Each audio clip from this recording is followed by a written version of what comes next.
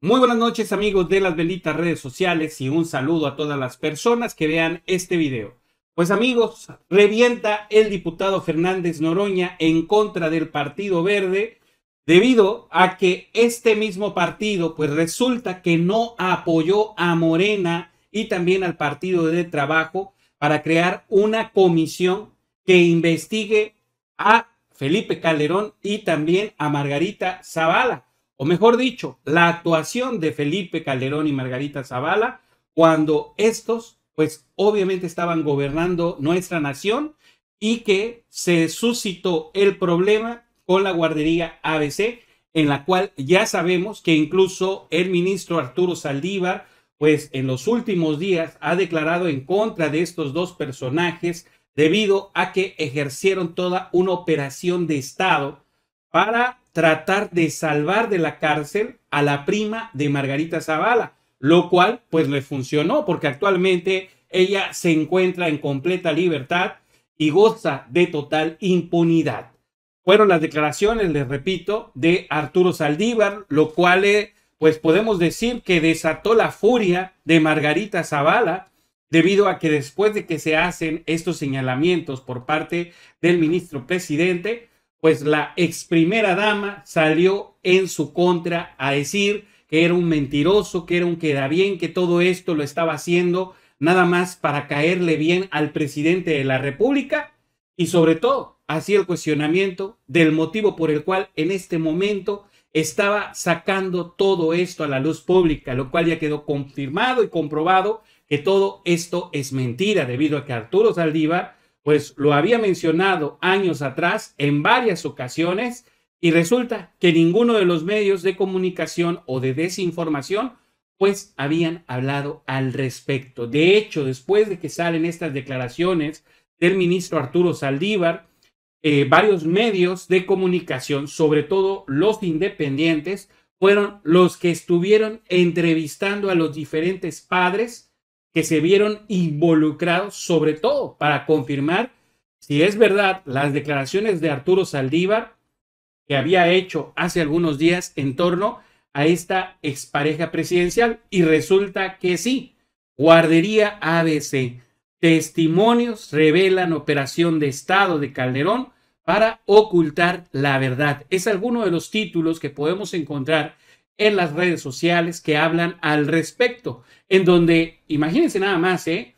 esta misma publicación, la cual señala lo siguiente, decena de testimonios de madres y padres de los bebés de víctimas del incendio de la guardería ABC, de bomberos, paramédicos, policías e incluso autoridades revelan la operación de Estado que orquestó el expresidente Felipe Calderón en el año 2010 para ocultar la verdad de este crimen y sobre todo para encubrir a su esposa, la panista Margarita Zavala. Las desgarradoras narraciones forman parte de la investigación que elaboró y defendió aquel año el ahora ministro presidente de la Suprema Corte de Justicia, Arturo Saldívar, e integran el nuevo expediente que la Fiscalía General de la República abrió en 2020. Bueno, ya estaba iniciada toda esta investigación. Resulta que es propuesta hacia eh, la Cámara de Diputados.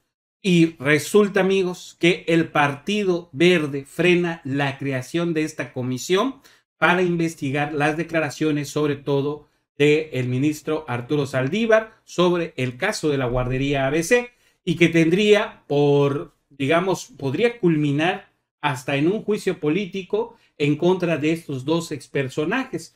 ¿Y qué podría involucrar todo esto? Pues en primer lugar, si quedaran ellos como culpables, Margarita Zavala tendría que renunciar al puesto que actualmente ocupa como diputada por parte del partido panista debido a que se produce una inhabilitación hacia un cargo o función pública.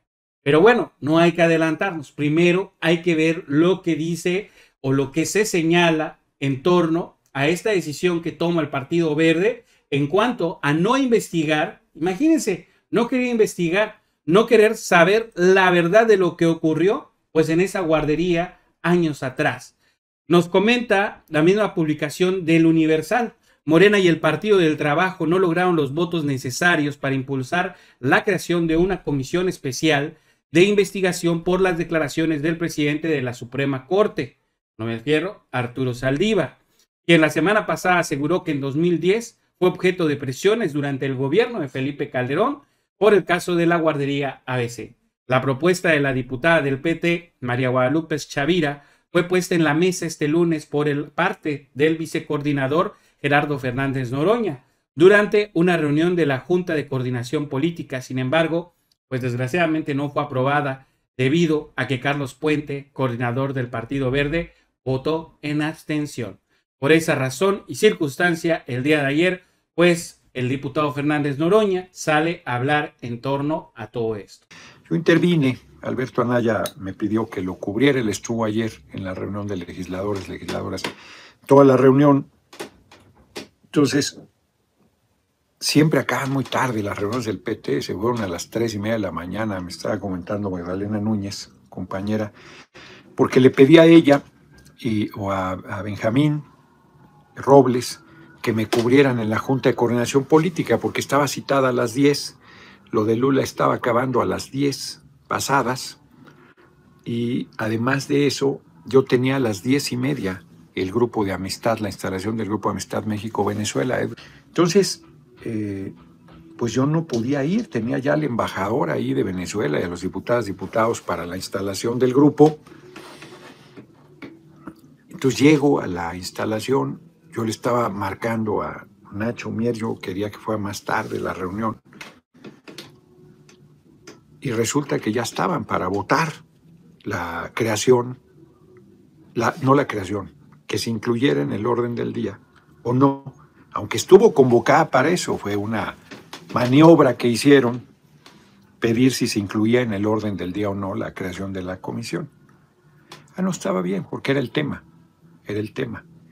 Entonces era si se incluía o no en el orden del día, no de la sesión de la Junta de Coordinación, porque yo llegué tarde, sino de la sesión de hoy.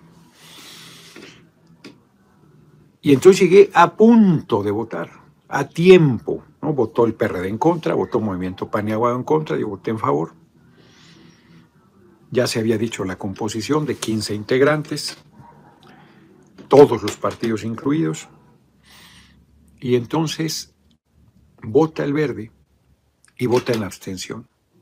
Uh, yo dije ya, ya se jodió esto y Morena vota en favor. Entonces dice, no hay mayoría. Sí tenemos mayoría. Entonces yo dije, ya valió madre. Pero los compañeros de Morena insisten en que es mayoría de votos, lo cual era cierto porque es voto ponderado. Morena tiene 189 o algo así, nosotros treinta y tantos, eran como 220 de los 500 diputados, teníamos mayoría porque el verde no había votado en contra, se había abstenido. Entonces éramos más los que votamos a favor, menos los que votaron en contra.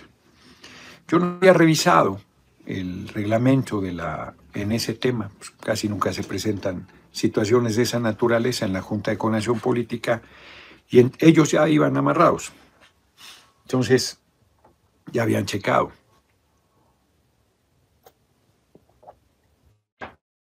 Entonces, no, se necesita mayoría absoluta, o sea, 50% más uno, que con el verde lo tenemos, pero sin el verde no lo tenemos.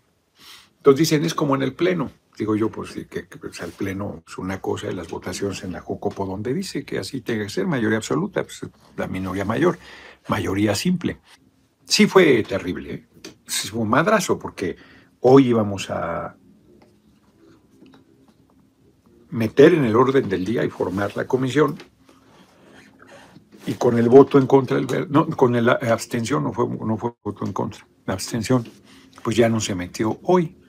Entonces el verde eh, plantea pues que sirva este tiempo para procesar el asunto. No está siendo desechado, no se votó por mayoría en contra. Y aunque se hubiera votado por mayoría en contra, siempre puedes volverlo a presentar. Eso no, no obsta. Eh, sin embargo, pues sí fue un descalabro porque todo estaba pensado para su aprobación. Hoy yo, entonces el verde, insisto, da la salida. plantea pues que se procese, que se haga política, que se haga la tarea. Y entonces yo iba a plantear que, pues, está bien, que yo no insistía, pero vi que Nacho Mier eh, había pedido la palabra y seguía insistiendo en pedirla, entonces ya no retiré.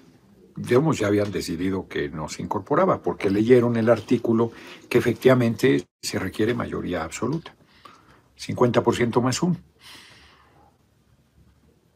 sí fue un duro descalabro, el de hoy. Bueno, y aquí vemos esta parte donde el diputado Fernández Noroña hace referencia a qué fue lo que sucedió en esta misma reunión y que por desgracia no, eh, no se pudo establecer pues lo que sería esta comisión para investigar la verdad. También después continúa mencionando que el Partido Verde había votado en abstención porque no había como una muy buena, o que no hay una muy buena comunicación entre el Partido Verde y también el Partido de Morena. Debido a esto, supuestamente a manera como de queja, podemos decirlo de esa forma, o inconformidad, es por la cual el Partido Verde pues no realiza o realiza esta abstención en el momento de la votación. Lo que a mí, pues la verdad me llama la atención es el hecho de que se interpongan cuestiones personales, cuestiones políticas, con un asunto tan delicado. Sobre todo, recordemos que hasta este momento quienes están detrás de la cárcel, pues son personas que en realidad posiblemente tendrían alguna culpa, pero faltan más. En este caso, obviamente la prima de Margarita Zavala, que se encuentra pues libre y gozando de total impunidad. Y esto debe prevalecer eh, pues sobre todo o anteponerse ante cualquier diferencia política o inconformidad. Pues amigos, esa es la información que yo tengo por el momento. Espero que les haya gustado. Si les gustó, por favor, los invito a que se suscriban al canal. Recuerden que tenemos video nuevo todos los días y pues nos vemos en uno siguiente. Recuerden que todo tiene solución en la cuarta transformación. Nos vemos. Bye.